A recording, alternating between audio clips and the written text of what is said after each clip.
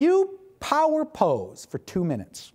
Two minutes. You will change your chemical structure in your body.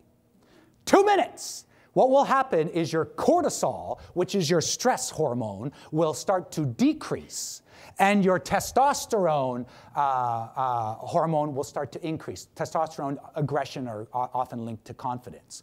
So, you know, here we have some examples of, of um, uh, celebrities who are exhibiting power poses as part of what they normally do. Oprah, so when you're seated, uh, if, you know, if you can't stand up, you know, uh, taking up space in your seat, hands behind your head, taking up space, you know, making this all yours, owning your space. You know, Mick Jagger, very common thing to see people who are winning things, right?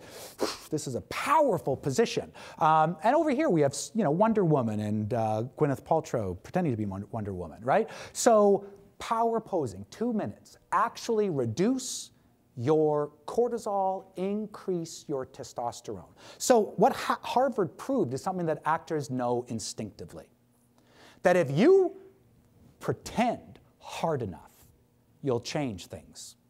If you pretend hard enough, you'll change things. This is magic. I love that Harvard did a study because it's magic. This is a type of magic isn't it? Isn't it magic to say, I don't have something, but I'm going to pretend that I have it, and I will, after a while, have it?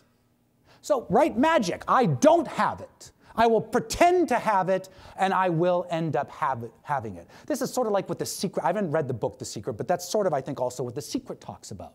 This sort of idea of pretending is power, pretending has potency to it.